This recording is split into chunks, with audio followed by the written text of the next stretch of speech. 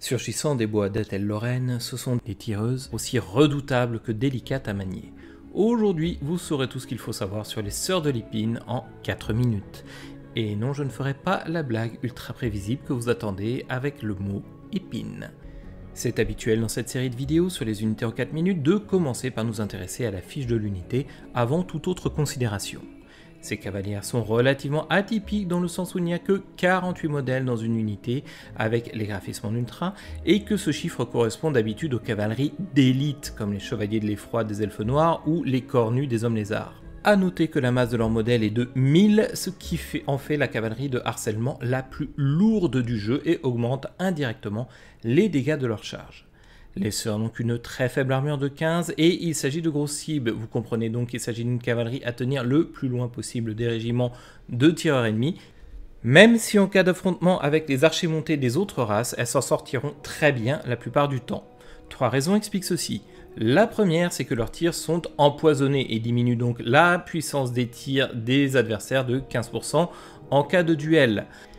Elle-même dispose d'une puissance des tirs de 42 et ces facteurs permettent aux sœurs de faire partie du top 3 des meilleures cavaleries du jeu en termes de dégâts infligés par salve avec les escorteurs de l'Empire et les maîtres équestres maraudeurs des Norse et du Chaos.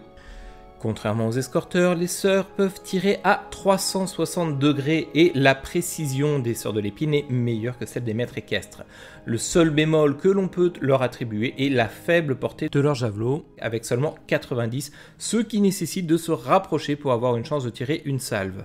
La deuxième raison qui fait que les sœurs l'emportent souvent en duel de tir avec les autres unités de cavalerie légère, c'est qu'elles disposent d'une résistance physique de 40%, ce qui est assez énorme pour ce type de cavalerie, mais aussi de 110 points de vie par modèle, ce qui en fait la cavalerie de harcèlement la plus solide du jeu, toute catégorie confondue, à l'exception bien entendu des tirs magiques qui pourraient passer à travers leur résistance physique et en venir à bout facilement. La troisième raison, c'est qu'elle dispose de deux sorts qu'elles peuvent lancer gratuitement au cours de la bataille. Le premier de ces sorts est le bouclier de ronce, un excellent sort de défense qu'elles peuvent lancer au choix sur elles-mêmes ou sur des unités alliées pour bénéficier pendant 22 secondes d'un bonus aux dégâts des armes et de 20% de résistance physique. Le second sort est à usage unique mais il est extrêmement pratique pour attraper une unité ennemie. En effet, il s'agit de la malédiction d'Anraïr qui diminue la vitesse de l'unité ennemie de 25% ainsi que l'attaque et la défense de l'unité visée de 24 ce qui permet aux sœurs de surprendre des unités de cavalerie de choc si elles décident de les engager dans la mêlée, ou de rattraper des unités de tireurs montés qui sont dotées d'une meilleure portée qu'elles, mais qui verront leur vitesse réduite et qui vont donc se mettre à portée des tirs des sœurs.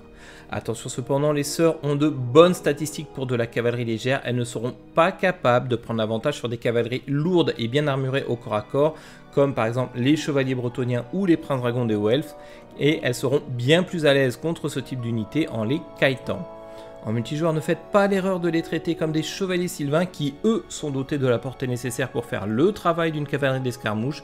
Les sœurs sont à traiter davantage comme une cavalerie d'élite à n'engager que là où elles sont vraiment nécessaires. Que ce soit en campagne ou en multijoueur, vous aurez compris que les sœurs de l'épine sont des unités d'élite fragiles et à manier avec précaution, mais néanmoins bien meilleures que la plupart des unités de cavalerie de tir que vous pouvez trouver dans les autres races. Leur puissance de feu peut effectivement venir faire pencher la balance lorsque cela est nécessaire. Voici maintenant les bonus dont elle dispose en campagne. Merci à tous d'avoir suivi jusqu'ici et je vous dis à très bientôt.